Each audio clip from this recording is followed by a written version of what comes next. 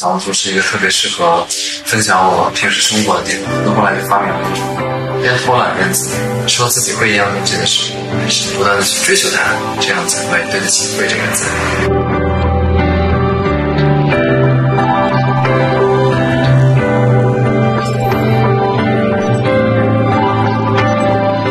哈喽胡雨桐，生日快乐！哎，小灯儿叔啊，小灯叔又见面了。今天生日会准备怎么样？啊，我还没有看那个现场，我心里特没底，因为我今天做了太多之前没没敢做的事情，所以还等一下那个同事帮我录了很多视频，我看一下到底是什么样。预期可以给自己打几分啊？三分吧，不能再多。还记得去年立下的生日愿望，今年实现了。嗯，今年真的实现了。我希望如果通过努力就可以实现的话，就多多努力吧。然后，希望我今年的生日可以告诉大家我有事情。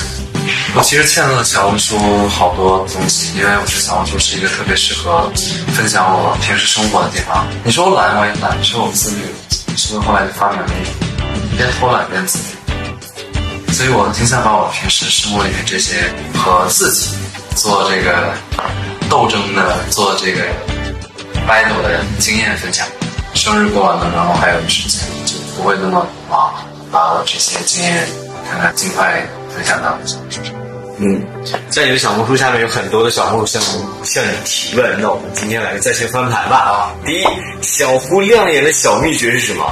其实我有点近视眼，就是我的近视眼呢，是因为左眼睛度数有点有点度数是大概二百多吧，一百多到二百，有点健康，所以有的时候我会看东西就会左眼睛有点累，然后我比如说我玩手机啊、冲浪啊，我我就会有点有斗鸡眼，就是如果大家发现我有某一段时间有点斗鸡眼，那就是我这段时间冲浪冲的。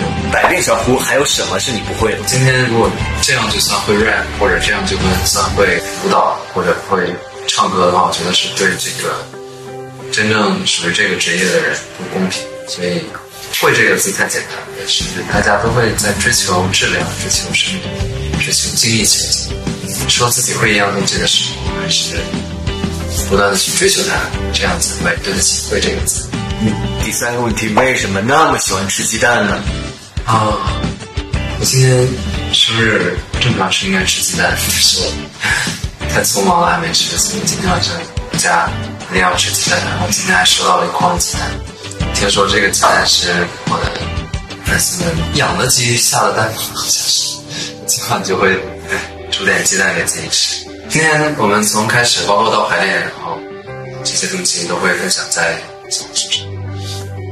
希望大家看到我这一次生日会的台前面。希望大家知道，他其实虽然叫生日会，但是真的是做了很多音乐上的准备。谢谢大家喜欢音乐人、鼓手、七人联盟、日头，谢谢。